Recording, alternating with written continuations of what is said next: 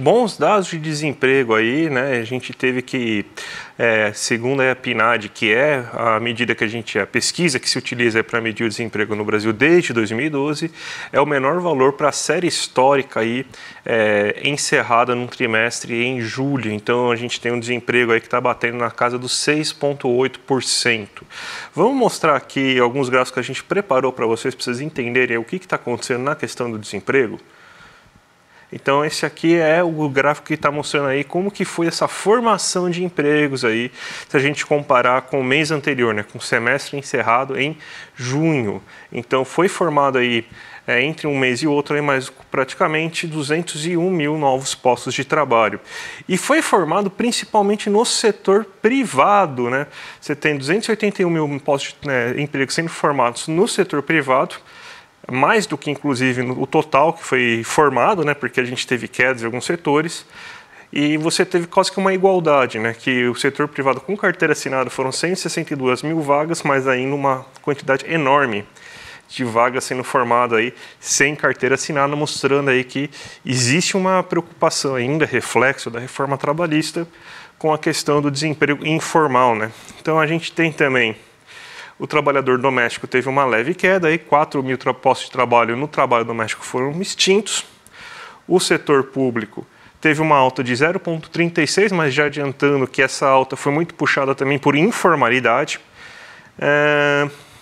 E a gente tem aí uma coisa bem interessante que o conta própria, ou seja, aquele que trabalha como PJ ou aquele que faz um bico, é, reduziu mas tanto com carteira assinada como sem carteira assinada. Então, aqui é um reflexo do como que foi aí a formação de emprego muito puxado pelo setor privado, mas também com uma qualidade que podia ser melhor, né, Débora? Exatamente. Muita formação ainda né, por mais que tenha sido menor do que os, setor, os, postos de trabalho formados no setor privado com carteira assinada, a gente ainda tem uma proporção grande desse trabalho no setor privado sem carteira assinada. Foi menor? Foi, mas ainda com uma expressividade grande quando a gente pega aqui, inclusive considerando o total. Claro, a gente teve quedas aqui em outros setores, principalmente no conta própria, caiu mais ou menos 115 mil vagas, mas aqui realmente é, é uma preocupação né? E um desafio que a gente sempre fala aqui do mercado de trabalho brasileiro de criar postos de trabalho com qualidade, não só qualidade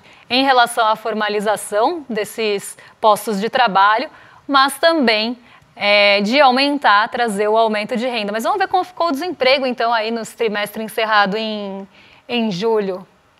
Então, a gente vê aí que entre julho de 2013 e até julho de 2014, você teve uma queda de 1,1 ponto percentual, aí, uma queda bem brusca. Né? A gente sempre tem esse mesmo formato. Ó você tem o desemprego vai indo em queda, aí se eleva um pouco, se eleva o desemprego, principalmente quando você tem o fim das vagas temporárias, em próprio dezembro a gente já começou a ter vagas temporárias sendo encerradas, e aí começa a cair de novo. Você vê a rapidez da queda do desemprego a partir de março de 2024, é bem, bem impressionante, né? A gente estava com desemprego acima de 8% em março de 2000, se não me engano foi de 8,1% que a gente estava em março, a gente encerra agora em 6,8%. Isso é quase um nível de pleno emprego. Eu não sei até onde a gente vai dessa queda de emprego, mas isso é muito sinal aí de uma economia urbana muito forte. Indústria contratando, setor de serviços melhorando. Então é isso que está explicando esse comportamento do desemprego nesse momento, Débora. E até queria chamar uma atenção aqui para um ponto, porque nas barrinhas vocês estão vendo as projeções que o mercado tinha para a taxa de desemprego. E na linha, ro... na linha roxa, olha eu, na linha laranja, é, na linha laranja a gente vê de fato o desemprego. E a gente vê que por três meses ali, março, abril e maio, o mercado financeiro, ou as projeções de uma forma geral, estavam bem acima da taxa. Né? Então, ali em março, a gente tem uma projeção acima de 8%. E a taxa ficou muito perto dos 8%. A gente tem, em abril, a taxa ali também acima do, da projeção, se não me engano, ali passando um pouquinho o 7,5%, e depois uma taxa prevista ali acima de 7% e um desemprego já mais próximo de 7%.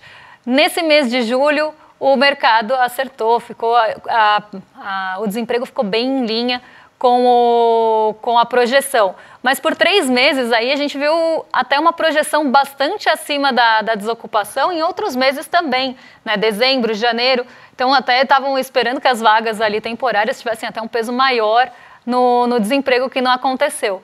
E, e até, né, até puxando um gancho aqui com o que já foi falado no ICL Notícias, primeira edição, daquelas projeções do mercado de desemprego ao longo do tempo, que sempre vem aí puxando para cima a projeção e o desemprego indo na outra direção, aqui a gente vê isso de uma forma bem, bem clara e bem nítida.